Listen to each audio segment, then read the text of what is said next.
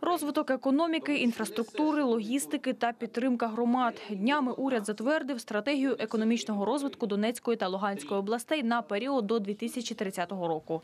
Серед головних проєктів найближчих років – оновлення залізничного сполучення, розповідає міністр з питань реінтеграції тимчасово окупованих територій Олексій Резніков.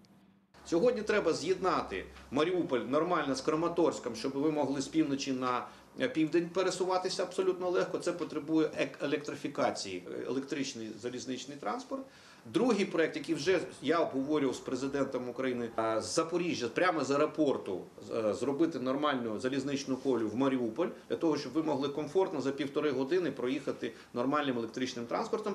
Також жителям двох областей забезпечать доступ до якісної питної води, додав міністр. Наголосив, у Маріуполі повинні прискорити реалізацію цього проєкту як з французького, так і українського боку. У муніципалітеті підкреслюють, планують отримати технічно-економічне обґрунтування до кінця року.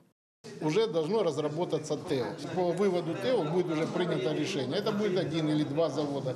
В дальнейшем это должна быть разработана генеральная схема водоснабжения. И вот этим проект должен будет быть закончен.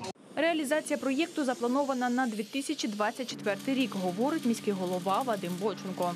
Заменили 50 километров трубы в, год, и уже это 220 километров за 5 лет. Мы сократили потери с 58 до 33 нормативных. Соответственно, мы убрали эти излишние потери и сэкономили 100 миллионов, которые диверсифицированно направили на поддержку этого предприятия. И, соответственно, вместе с ЮНИСЕФом мы влили в это предприятие 160 миллионов прямых инвестиций. Мы готовы к реализации этого проекта. Но надо вот на уровне исполнительной сегодня, как Алексей Юрьевич сказал очень правильно, дали правильный импульс, Олексій Резніков підкреслює, проєкт із забезпечення маріупольців питною водою пілотний та взірцевий. Такі ж програми планують реалізувати у Попасній в Луганській області та у підприємстві Вода Донбасу. Крім цього, обговорили житло для переселенців.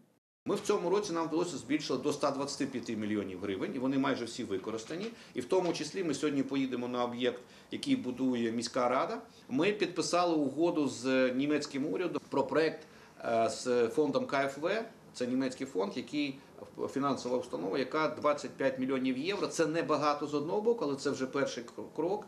Фінансує для того, щоб люди могли, ті, хто собі дозволити, взяти позику. Але ця позика на 30 років практично без відсотків. Також нині готують міжнародну конференцію щодо гуманітарного розмінування регіону. Анна Мальцева, Владислав Борисов, телеканал Донбас.